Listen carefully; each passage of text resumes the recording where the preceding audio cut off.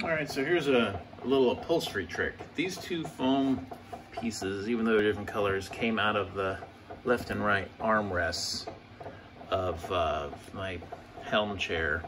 And this foam is, is pretty bad. I'm gonna replace it, but before I replace it and cut it out, I wanted to get it back to its original shape, and there is a way to do that. So I have bubbling away over here is a steam machine. It's steaming. So all you to do is take your wrinkly old foam, and I learned this from Gene Wilson, uh, working at his upholstery shop as a dumb kid, probably getting in the way more than helping, but at least I learned something out of the deal. So watch, watch the foam here. As it, as the steam goes in, it puffs up that foam.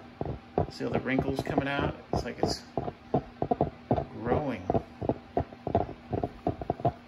It's a great little trick, I guess. See the wrinkle in it right there? It's all rumpled up. Get some foam in there, get some steam in there, and it will get its shape back. Okay? Look at that. It's kind of squished at an angle in there. It's better if you can put pressure and drive it in there, but it's hard to do with these this particular wand thing. So I'll try it on this side now. Try to cover up all the holes. It's got a bunch of holes. I'm going to cover all the holes and push the steam into the foam so it's going through the foam. And see, now it's starting to come back to its original shape. Try now so not to burn myself or fog up my camera. That, that steam pushes it back into its original shape. See the rumply bit there?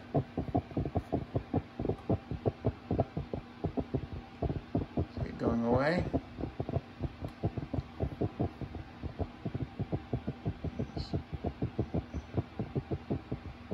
So now, this piece was much smaller than the, than the other one when we started this. But now, you'll see if I lay the back out, that will have regained its shape.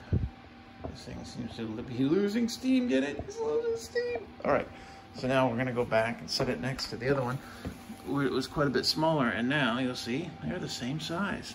I can use this as a template to cut out my new foam. And at least it will be approximately the right size, which is considerably bigger than the armrest itself, the fabric, because it's going to be compacted in the armrest. That's why it was shrunk. So, a little fun tip.